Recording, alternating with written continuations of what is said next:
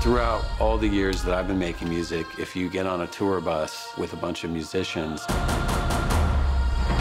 eventually the conversation will go to Sparks. I remember just seeing them all the time, like, who are those guys? They are a band who you can look up on Wikipedia and know nothing. We are Sparks, dude.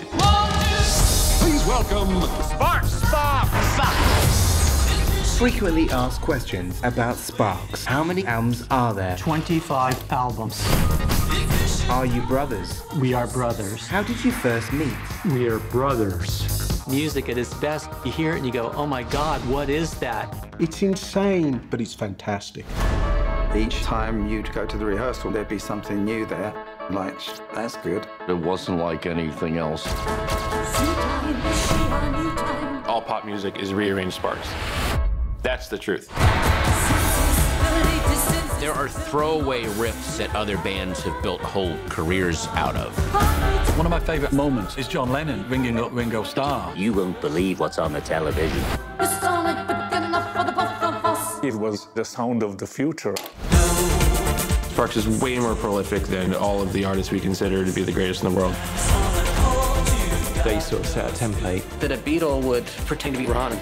That's amazing. They were taking all their creative juices and putting it into something that they loved. They were a bit much for most people. The culture just wasn't there yet.